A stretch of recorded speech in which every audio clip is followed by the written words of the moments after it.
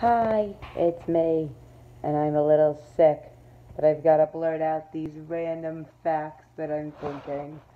Um, so, the fact is, with all this gender equality, e- equity shit, and all this, like, gender confusion type of stuff, and then, you know, the whole PC on the Christmas Carol stuff, I've decided that I should be Santa.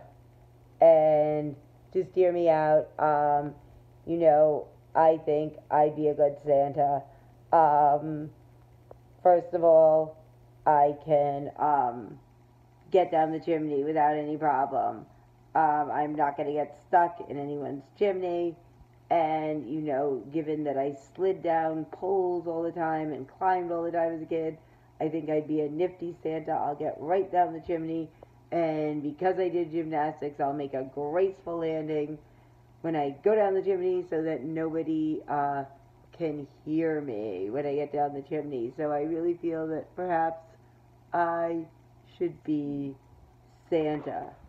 And, um, you know, I feel that um,